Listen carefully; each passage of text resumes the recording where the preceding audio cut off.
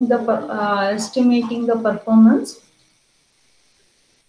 So where we had taken an example of ATM, when we have considered the ATM network, uh, we need to understand for one particular city uh, or one particular branch how many ATM machines or ATM system has to be uh, deployed. So we, what is the usage and what is the performance? Uh, what are the limitations that we need to identify? These things we have uh, discussed. Then other than that, making a reuse plan. So in reuse plan, we had come across the libraries uh, for having, uh, by using a library, uh, we are going to have some good qualities. We are identifying some good qualities that is coherence, completeness, consistency, efficiency, extensibility, and genericity. So these are the thing, uh, good qualities of our class libraries. Then other than that, we have some limitation when we are trying to use a, a reuse plan, where we are identifying the argument validation, error handling, uh, control paradigm, group operation, and garbage collections. So these are the things that we had discuss, uh, discussed in a previous class. Other than that, what we are using, we are, uh, say for example, we want to use a framework. So what is this framework? It is nothing but a collection. Framework is a uh, skeletal structure of the program, which will be uh, elaborated to build a particular application or to build a particular system. So where this uh, entire framework consists of a class uh, library, when we are using this class library, this can have some subclasses where each and every subclass has their own uh, programming performance, uh, whether to begin with the scratch or it can be from the existing. So depending upon this, we are trying to uh, tend the different categories of application used on a framework. That is, framework will be already existing. We can use that those framework to develop a particular application. And next thing is pattern. Uh, patterns are nothing but a proven solution uh, for a general problem. Say, for example, I had taken uh, for a MVC pattern, right? Say the same MVC pattern can be applied uh, for a different recurring problem, say for analysis of a uh, election result or a student result or to identify different statistical performances. For many things, we are trying to uh, use this pattern. And how do we differentiate this pattern with the framework?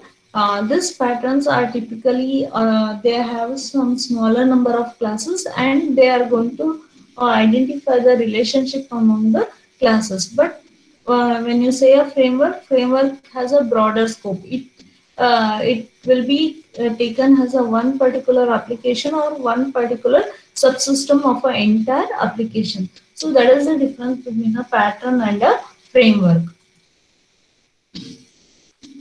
And next thing is breaking the system into a subsystem. So how do we um,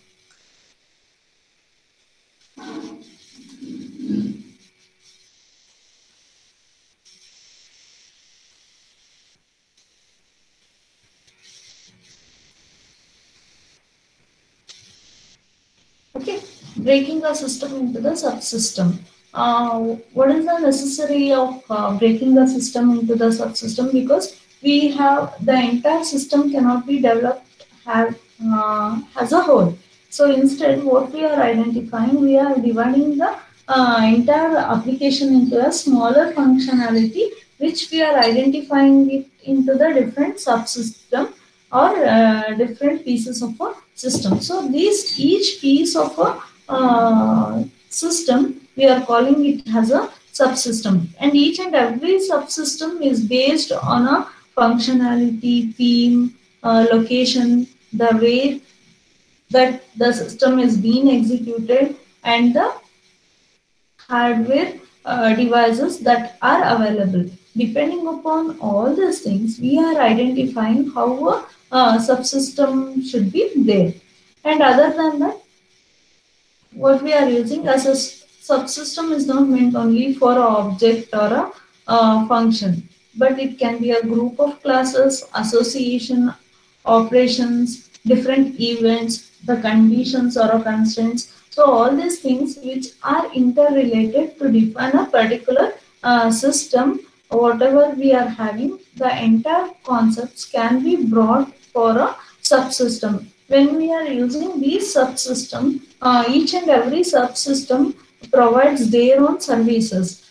Uh, each and every uh, services is identified with the uh, particular purpose or particular functionality. Say, for example, it can be a processing of an IO, uh, performing an op uh, arithmetic operation, drawing the diagrams, um,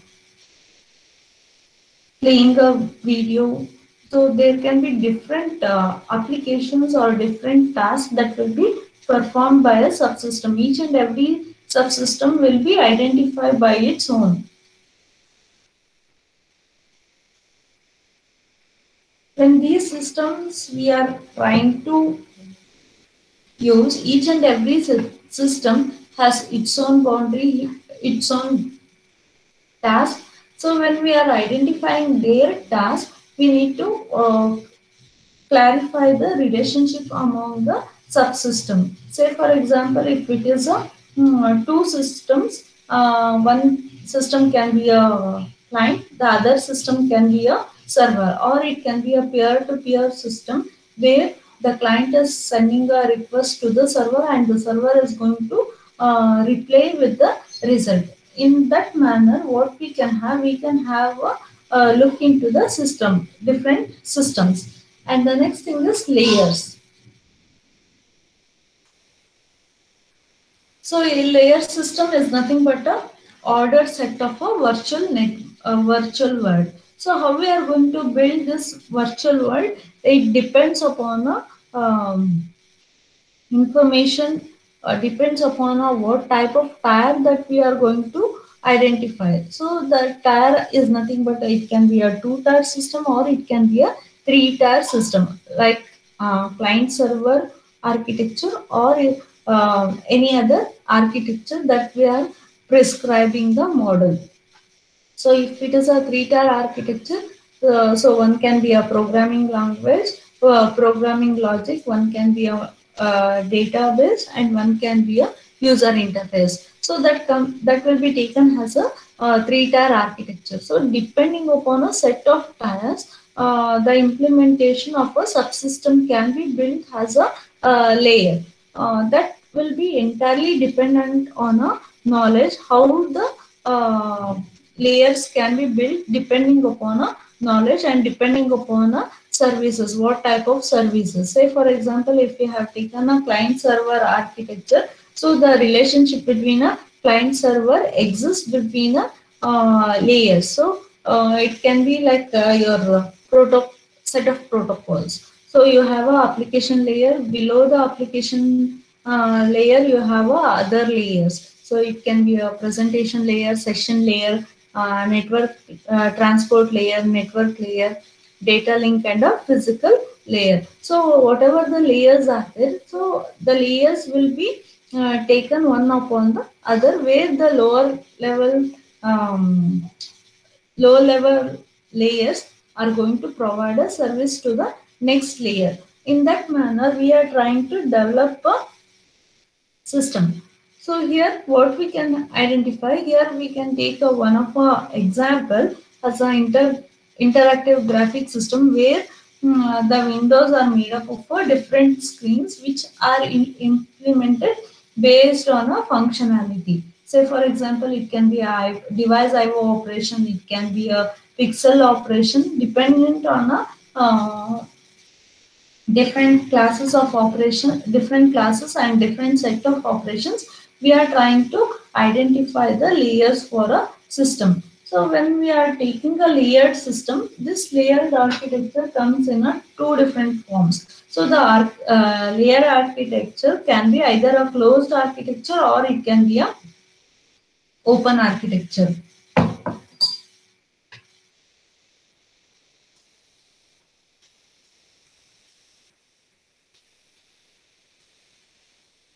So if it is a closed architecture and this uh, closed architecture are built uh, in terms of a immediate lower uh, lower layer. Uh, so that is how we are taking a immediate dependencies. So one layer will be dependent on a, another layer. And in open architecture, we are going to use a different uh, features where the lower layers can have any depth so which has their own operation which can result in a more efficient and a uh, compact coding part. So that is how we are designing the uh, layers. So next we have a partitions. So partitions are nothing but partition can be done either a vertical or a horizontal depending upon a uh, functionality. But usually we are going to consider the system partitions has a ver vertical partitions.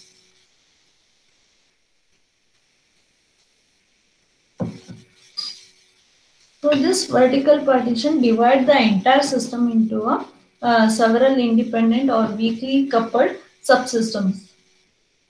So where each and every subsystem uh, is going to provide either one of the services Say for example, if you are going to consider a operating system, the operating system consists of a file system, processing control, virtual uh, memory management, device control, input output services. All these things come uh, are considered when we are taking the computer operating system. So for these uh, functionalities, what we are doing, we are identifying it has a different partitions and we are identifying a different levels of abstraction. So which comes and which can be considered either as an open architecture or a uh, closed architecture.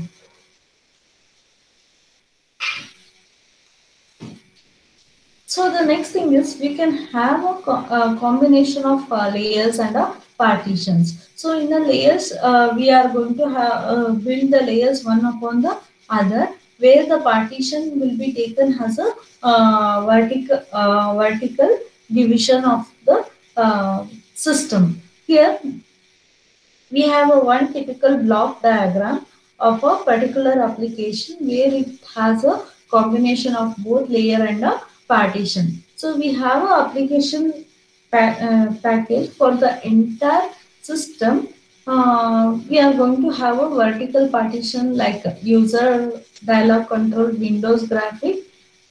And one more is a simulation package. So that i have not written here. Here we can have a simulation package. So below the uh, window graphics we can have a screen packages pixel graphics. And below these package uh, graphical packages we have a operating system so this operating system will be deployed on a computer hardware. That means above the computer hardware, we have a different levels of services which we are trying to utilize to develop a particular application or to uh, utilize the functionalities of a uh, system. So this is how we are trying to utilize the packages.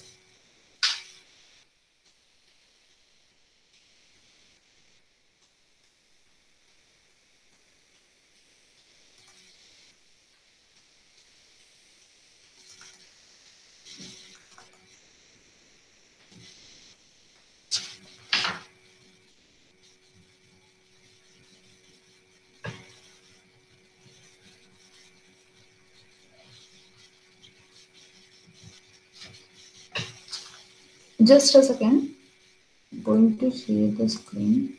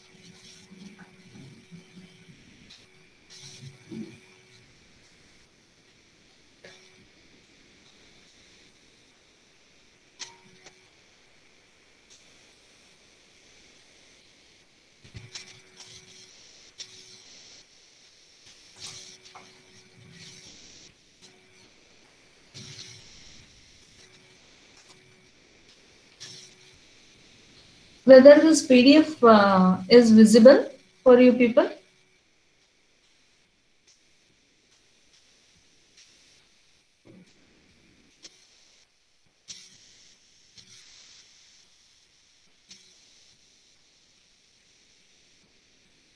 Yes, ma'am. So next we have a identifying the concurrency. So for identifying the concurrency, what we are have taken, we have taken an example. So concurrency is nothing but that uh, identifying the task uh, on a single time. That means multiple tasks will be uh, carried carried out at a simultaneous uh, simultaneously. So here what we have, we have taken an example of architecture of a ATM where we are using a uh, where the user uh, uses a ATM interface uh, user interface. Uh, this ATM station has a cash card and the transaction has a user interface where this ATM station is being linked to the uh, computer consortium where this computer consortium is going to identify the ATM station um, with the station code. So once the uh, cash card is being used by the user, then what happens? It will link to the bank code. So simultaneously, it will verify the transaction or it is going to identify whether the authorized uh, whether the user is an authorized user or not. So how it will identify? It will connect to the um, through the communication link. It is going to connect to the bank computers. Uh, it will ident it will authorize the card. So once the card is authorized, so it moves to the transaction. So when the user is going to perform a transaction, so what happens? It will it is it will be connected directly to the bank computer transaction. So from this transaction, uh, this transaction will go to the customer account. It will identify the customer account. So whatever the transaction that has been performed, so that will be updated uh, by the bank. So the cashier is going to enter all the details into the uh, through the cashier station. So all these things are going to happen parallelly. So that is how the concurrent execution is going to take place. And next thing is identifying the in, uh, inherent concurrency. So here what we can consider, uh, we can also consider the state modeling to identify the concurrency between the two objects. So it can be dependent on, upon a sending and a receiving signal, how the system is going to be interacted. So for example, if we are going to consider a uh, ATM system, so if the user is trying to make a transaction, but there is a failure in a um, central system. In that case, what happens? Whatever the transaction that the user has given, it should be cancelled. So how it will be done uh, depending upon a concurrency. And next thing is defining the concurrent task. How we can define a concurrent task by using a thread, thread of control. So what we can identify, we can uh, take a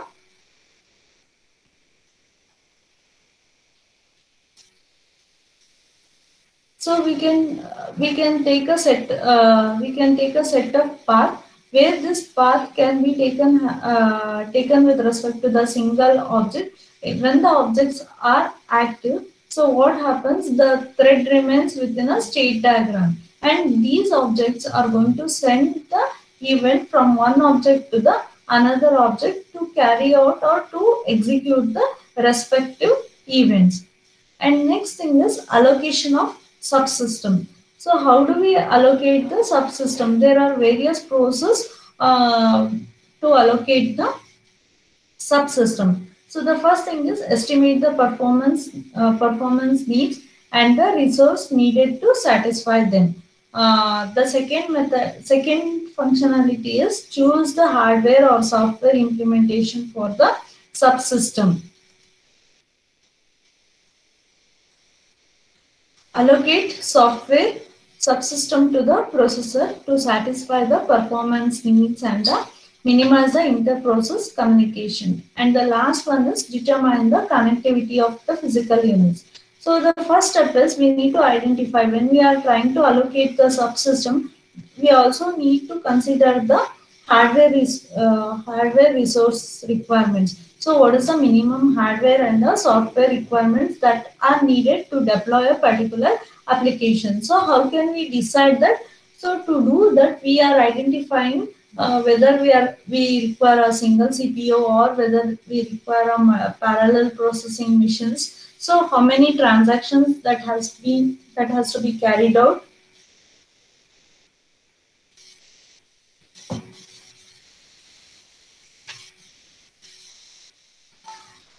whether all the activities are going to be uh, synchronized. So whether uh, whatever the resources that we have suggested to uh, deploy that particular application or to implement a particular application, whether these resources are sufficient, that has to be identified first. So if we are going to consider an ATM, ATM as an example, so for these ATM machines, what we are identifying, we are going to uh, identify what are the different, uh, what is the user interface. So how the processing, uh, local processing is going to happen. So whether it requires a single uh, CPU with a particular ATM machine. So when a user is going to interact with a particular system, so how the uh, consortium computer is going to uh, route all the transactions that are performed at the particular ATM machine. So how the uh, transactions are dispatched over a computer network through the uh, communication uh, channel, whether all these channels are going to be are reliable. So if there are multiple processors, so how we are going to update with respect to the multiple processing system with the different uh, databases stored because all the consistency has to be maintained in a system. That is a challenging uh, thing that we need to face. Next thing is making the hardware, making a hardware and a software trade-off. So to make a hardware and software trade-off, uh, we need to consider two main reasons for implementing the subsystem. One is a cost and one is a performance. So when we are going to consider a cost, so what, what is the minimum cost, functionality cost uh, that are required? Say for example, if you are developing a project using a IoT. Okay, so if you are using a Arduino board or Raspberry Pi, what is the minimum cost for that particular board? So which sensor that you are going to use? So which are the acute, uh, that you are going to use? If you are combining all these things, what could be the total cost of that particular machine. So that has uh, that cost estimation has to be done when you're trying to purchase a particular product or particular um, hardware devices. And next thing is performance. So if you are using a uh, general purpose CPU, what could be uh, what is the um, how many graphical chips has been used. So whether the processor is going to use a Fourier series so whether the application is going to have a signal processing application. So depending upon all these things, we need to evaluate the performance of the uh, system. So that can be done through the object-oriented design by using the different packages. So which provides a flexibility to design a system. And next thing is allocating the tasks to the processes. So how do we allocate the different tasks to the process? Uh, so the first thing is logistic. That means we require a physical location to store the, either it can be a data storage, so uh, either it can be a location of a server. So how, uh, what is the total uh, storage that are required? So what is the hardware that has been used? So whether uh, if you are storing all the data somewhere else, so without with with the uh, independent operation, can you have an access to the particular application? So those things has to be considered.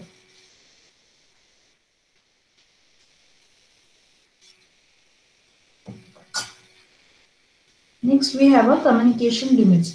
So for communication limits, if we are trying to have an access for a particular data which is stored in a some system, so what is the response time? So what is the data flow rate uh, for having the uh, accessing of those data? What is the bandwidth required So it depends upon what type of data that we are trying to access. So whether it is a graphical data, whether it is a video streaming or it is a audio streaming. So what type, uh, whether it is a textual data. So depending upon all this stuff, so we need to decide, so what is the communication bandwidth or what is the total bandwidth that are required to have an access to determine the high performance system. Next thing is computation limits. So for computation limits, we need to identify the computa uh, computational rates. So whether it is a single processor or whether it is a multiple processor. So what could be the total cost if we are assigning to the interactive uh, system. So how the subsystems can be allocated uh, to the systems, whether it is a single processor or uh, whether all the task is being assigned to the multiple processor. The, so those things has to be considered. And next thing is determining the physical connectivity. So to determine the physical connectivity of the system, what we are identifying, so there are some consideration or arrangement that has to be made. So the first thing is connecting connecting the uh, topology, connection topology. So what is topology? What is topology? Nishant?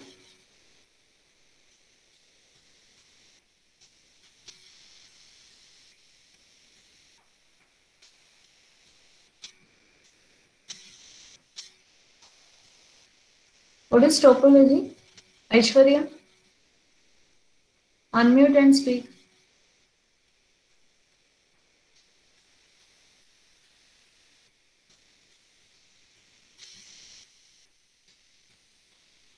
Arjun ma'am. Ah, tell Arjun.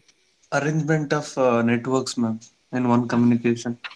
Yes, arrangement of networks or if you are taking a physical uh, systems or physical units, we need to organize the physical units and uh, we when we are organizing these physical units, so I, it can form a particular topology. So or it, it can be organized in terms of a bus topology, mesh kind, or it can be a star. So those things we call it as a topology. This organizing or organizing the systems and connecting the system to each other to minimize the cost and to minimize the relationship or a mm, complexity of the system. So for that particular purpose, we are using the connection topology. And next thing is we have a repeated units. So for repeated units, what we need to identify, we are ident- we are specifying the topology with respect to the yeah, with respect to the group of units or a single units. So how we are trying to organize all the multiple units uh, to obtain a optimization of a system. So it can be in a form of a regular pattern or it can be in a form of a matrix tree star. So depending upon all these things, we are uh, organizing the units. Next thing is the communication. So when we are trying to communicate, uh, we need to uh, to access the information from one system to the another system. We need to have a proper communication channel. So when we say a communication channel, we need to use a communication uh, protocols. Through the communication protocols, uh, through interaction mechanism, we can have an access to the system.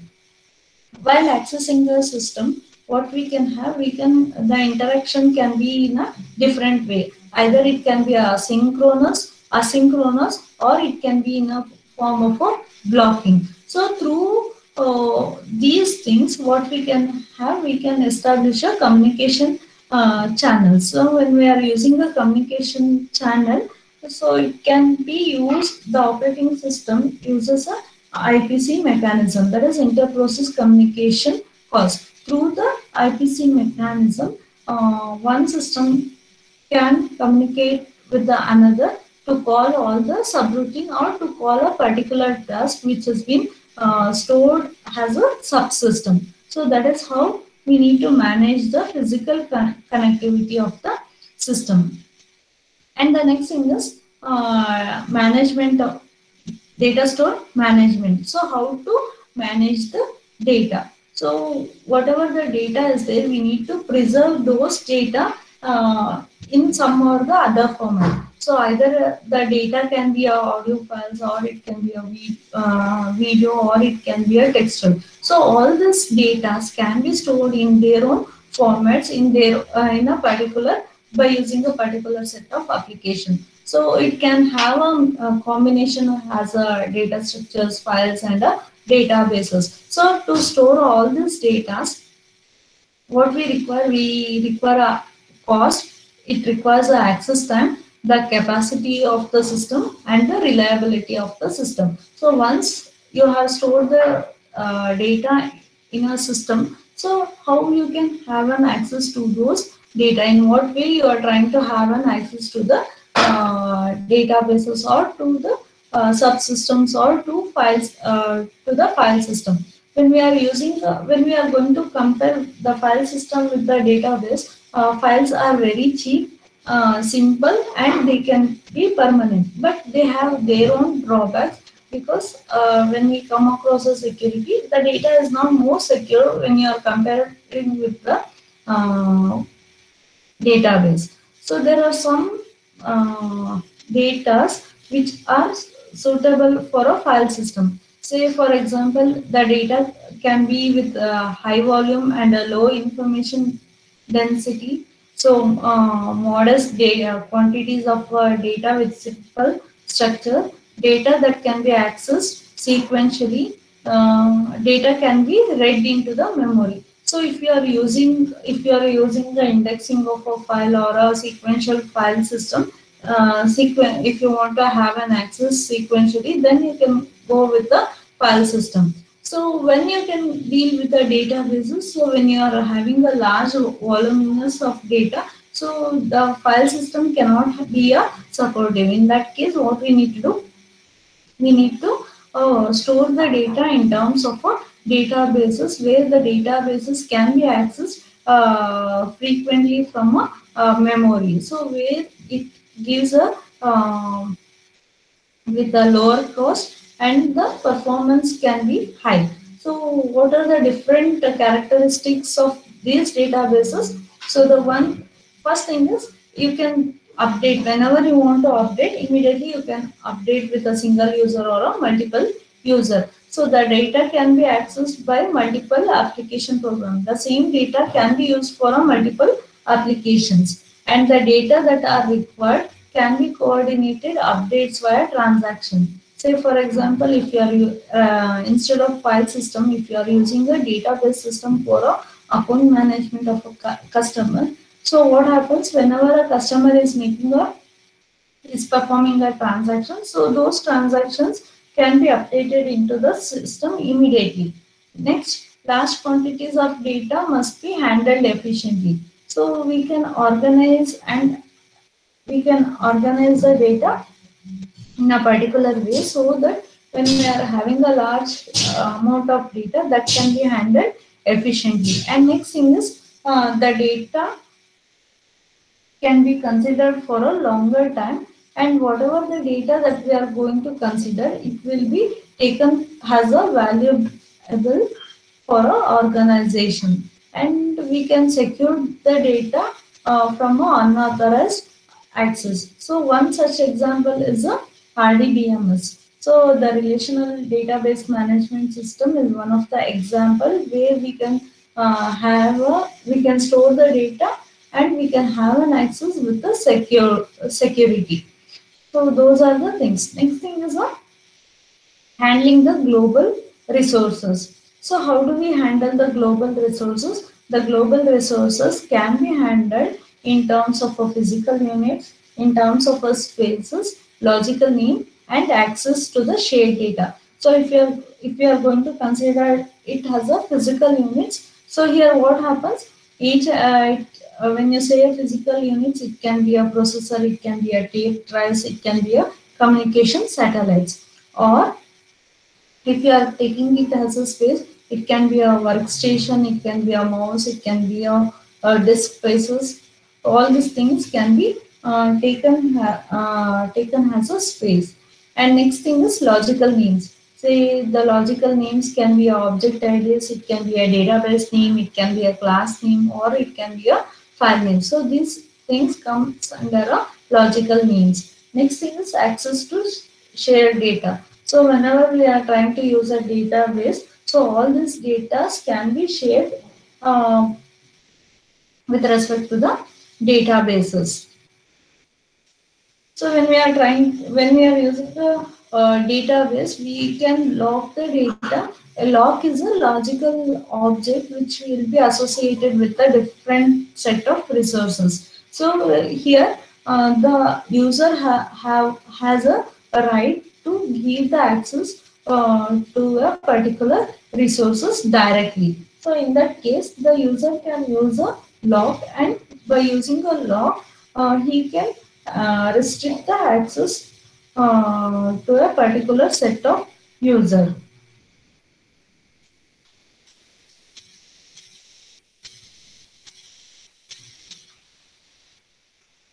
So next we have a control uh, choosing the software control strategy.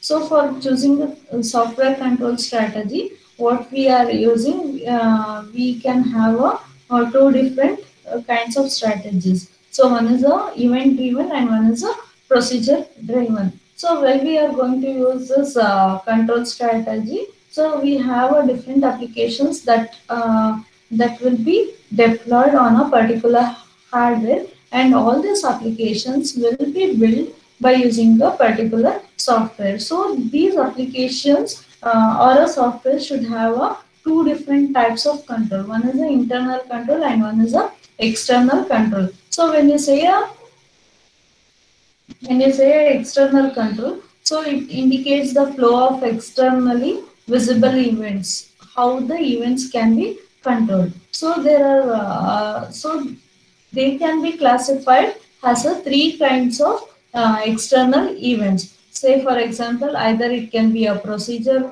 uh, it can be a procedure driven, or it can be a event driven, or it can be a concurrent execute concurrent execution. So by use uh, by identifying all these things, we are identifying so what are the different available resources. So either it can be a programming language or it can be a operating system that we are trying to utilize. So next thing is the internal control. So the internal control refers to the flow of control within a process. So how a particular process will be executed and what are the events that are going to be uh, caused, what actions will be considered in that particular event. So how, uh, what are the different constraints? So based on that, the uh, process will be executed and we are identifying the control within that. So to do that, what we are identifying, we are using a different implementation and we are identifying the concurrent and sequential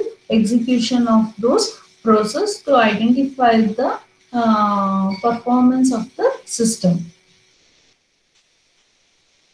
So when we use the control flow, so this control flow can be either a procedure call or it can be a quasi concurrent task or it can be a con concurrent inter-task calls. So the quasi concurrent task can be it can be a coroutine or it can be a lightweight processes that are uh, written or that will be built in within that will be within a system. So it can be taken as a single thread of control to execute a particular task. And the next thing is we have a procedure control system. So for this procedure control system, what we are trying to identify, we are trying to request with the external input um, where we can identify the different types of input which arrives to the system. So once the system is identified, so in a procedural control driven, we need to identify uh, the implementation that are done by using the conventional languages. So based on the implementation, we need to identify what are the disadvantages that requires a concurrency uh, inherent, inherent objects that are mapped with the sequential flow. Say for example, if we are going to consider object-oriented languages such as C++ and uh, Java as a procedural languages, so we are uh, it cannot be completely based on a uh, you cannot uh, completely based on a message passing. So a message is a procedure that will be adopted by a particular object to uh, which depends on a particular class for uh, to execute that particular targeted object. So dependent on that, what we are identifying, we are identifying the procedure driven control. And next thing is event driven control. In a event driven uh, control, what we are identifying, we are identifying how the control is decided and how to monitor the programming uh, languages, subsystems and the operating system. So how the applica application procedures, uh, e procedures to events and the dispatcher calls are going to uh, execute or uh, going to execute their own events by using the callback system. So for that, we are using the event-driven system. So when we are comparing this event-driven system, these event-driven systems are more uh, flexible than the procedure-driven system. Why? Because these event-driven systems are cooperating process. It is a single-threaded task, and it can be um, it can be taken as a uh, procedure which can block the entire process. So that is how we are going to consider the two different types of uh, procedures.